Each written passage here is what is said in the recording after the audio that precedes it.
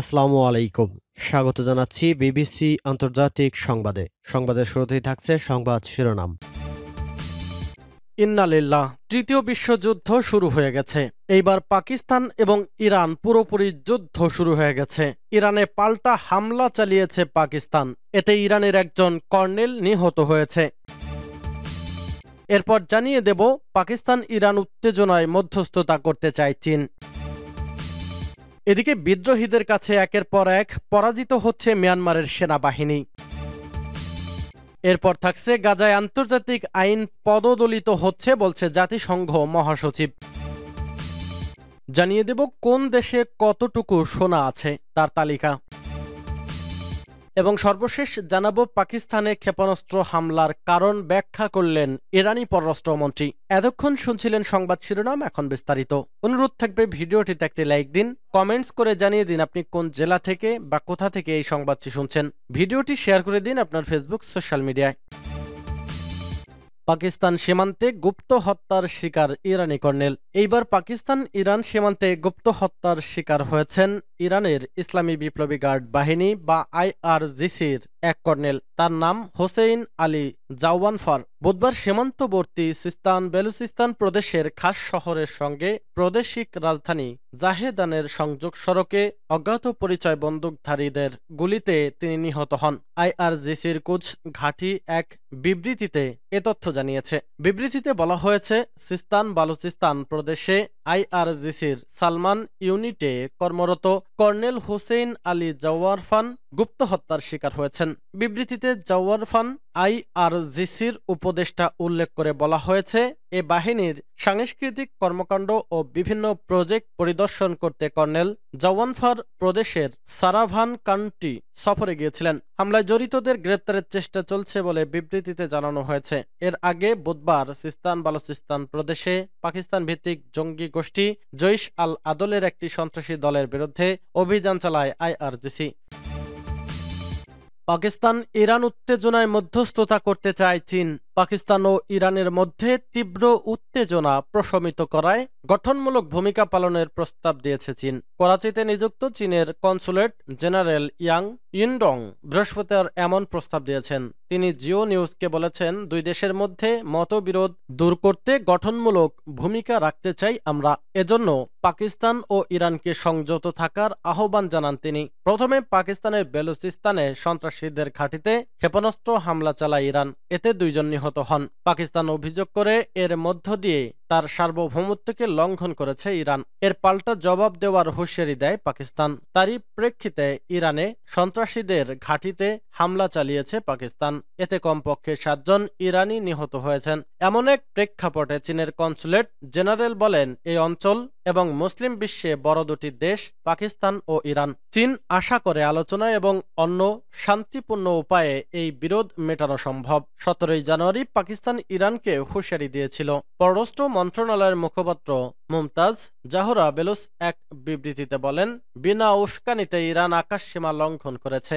এতে দুটি শিশু নিহত ও তিনটি মেয়ে আহত হয়েছে। তবে জবাবে ইরানের রাষ্ট্রীয় মিডিয়ায় দাবি করা হয় যে, তারা ড্রোন ও ক্ষেপণাস্ত্র ব্যবহার করে সন্ত্রাসী একটি সংগঠনের ঘাঁটি ধ্বংস করে দিয়েছে। কিন্তু এটাকে পাকিস্তানের স্বাধীনতার বিপক্ষে এবং পুরোপুরি অগ্রহণযোগ্য হিসেবে মন্তব্য করে পাকিস্তান। জবাবে তারা ইরানেও হামলা চালায়।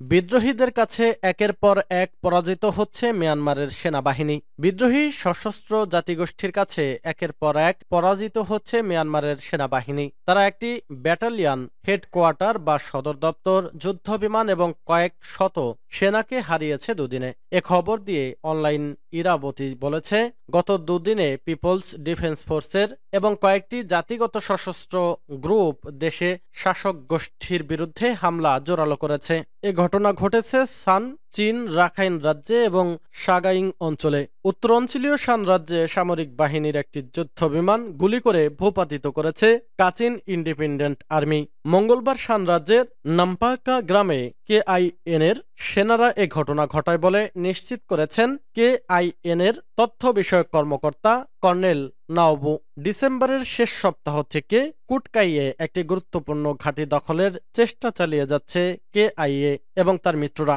তিন জানুয়ারি তারা কাচিনের ওয়াইমাও শহরে একটি ফ্রন্ট লাইনের ঘাঁটিতে যাওয়ার পথে একটি সামরিক পরিবহন হেলিকপ্টারকে গুলি করে ভূপাতিত করেছে কে আইএ এতে কমপক্ষে ছয় সামরিক কর্মকর্তা নিহত হয়েছেন।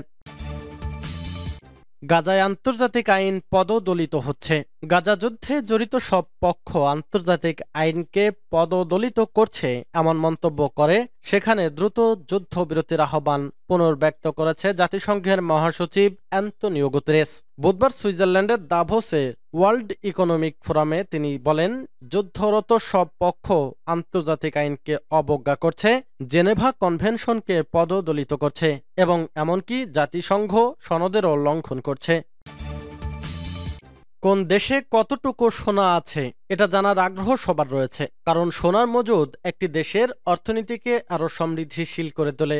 মজুদ থাকা সোনা অর্থনৈতিক অনিশ্চয়তার সময় খুবই গুরুত্বপূর্ণ হয়ে ওঠে। সাম্প্রতিক বিশ্বে অর্থনৈতিক অনিশ্চয়তা বৃদ্ধি পাওয়ায় সোনার মজুদও বেড়েই চলছে। সম্প্রতি যুক্তরাজ্যের লন্ডন ভিত্তিক ওয়ার্ল্ড গোল্ড কাউন্সিল এক প্রতিবেদনে বিশ্বের কোন দেশের কাছে কি পরিমাণে সোনা মজুদ রয়েছে সেটি জানিয়েছে। দু হাজার তেইশ সালের জুলাই থেকে সেপ্টেম্বরের শেষ পর্যন্ত হিসাব করে তালিকাটি তৈরি করেছে ডাব্লিউসি সংস্থাটির তথ্য অনুযায়ী বর্তমান বিশ্বে সবচেয়ে বেশি সোনা মজুদ রয়েছে মার্কিন যুক্তরাষ্ট্রে। দেশটির কেন্দ্রীয় ব্যাংকে আট হাজার একশো তেত্রিশ দশমিক ছেচল্লিশ টন সোনা মজুদ রয়েছে।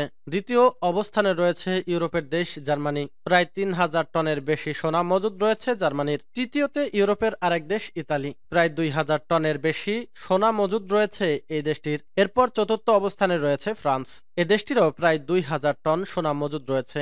তারপর রয়েছে যথাক্রমে রাশিয়া, চীন, সুইজারল্যান্ড, জাপান, ভারত ও নেদারল্যান্ডস। এছাড়া যথাক্রমে তুরস্ক, Taiwan, Uzbekistan, Portugal, Poland, Saudi Arab, যুক্তরাজ্য, কার্গাজিস্তান, লেবানন ও স্পেন।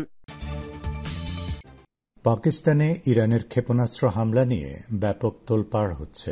অবশেষে ইরানের পররাষ্ট্রমন্ত্রী পাকিস্তানে ক্ষেপণাস্ত্র হামলার কারণ এবং লক্ষ্যের কথা সুস্পষ্টভাবে ব্যাখ্যা করেছেন। তিনি বলেছেন ইরানের সন্ত্রাসী গোষ্ঠী জেইশ জুলমকে ধ্বংস করতেই ওই হামলা চালানো হয়েছে।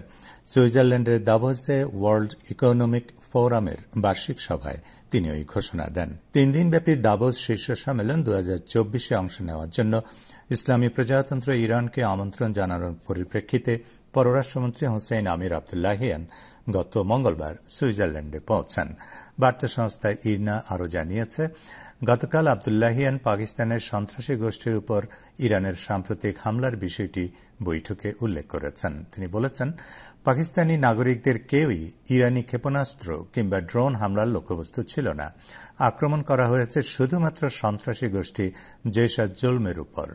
তিনি বলেন ইরাক ও পাকিস্তানের অভ্যন্তরে যেসব সন্ত্রাসী ইরানের নিরাপত্তাকে হুমকিগ্রস্ত করছে, তাদের ব্যাপারে কোন রকম আপোষ নেই।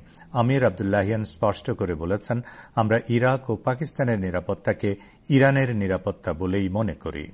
উদাহরণ হিসেবে তিনি বলেন, ইরাকের আরবিল কিংবা কুর্দিস্তানের ইহুদিবাদী ইসরায়েলি গুপ্তচরদের উপর ইরানের ক্ষেপণাস্ত্র হামলার অর্থ ইরাকে হামলা করা নয়। ইসরায়েলের পক্ষ থেকে যে কোনো পদক্ষেপের দাঁত ভাঙা জবাব দেওয়া হবে বলেও তিনি জানান। আবদুল্লাহিয়ান বলেন, ইসরায়েল, ইরান এবং ইরাকের অভিন্ন শত্রু, বাগদাদ, তেহরান নিরাপত্তা চুক্তির প্রতি ইঙ্গিত করে তিনি বলেন, ইরাকের কুর্দিস্তানের স্থানীয় কর্মকর্তারা ইরানের সীমান্ত নিরাপত্তা নিশ্চিত করার ব্যাপারে প্রতিশ্রুতিবদ্ধ। লেবাননের রাজধানী বৈরুতে ইসরায়েলি হামলার প্রতি জোর দিয়ে ইরানের পররাষ্ট্রমন্ত্রী বলেন, গাজায় গণহত্যা বন্ধ করলে দক্ষিণ লেবানন ও ফিলিস্তিনের সংঘাত বন্ধ হতে পারে। তিনি নেতানিয়াহুর উদ্দেশ্যে বলেন, তার জানা উচিত যুদ্ধ কোনো সমাধান নয়। ফিলিস্তিনের ইসলামী প্রতিরোধ আন্দোলন হামাসকে যুদ্ধের মাধ্যমে ধ্বংস করা সম্ভব হবে না বলে দৃঢ়তার সঙ্গে উল্লেখ করেন তিনি। যুদ্ধের মাধ্যমে ইসরায়েলি বন্দীরাও মুক্তি পাবে না। ফিলিস্তিন সমস্যার সমাধানের গণতান্ত্রিক উপায় নির্দেশ করে আবদুল্লাহিয়ান বলেন, গাজা এবং জর্দান নদীর পশ্চিম তীরের জনগণের মধ্যে গণভোট আয়োজনে সর্বোত্তম পন্থা।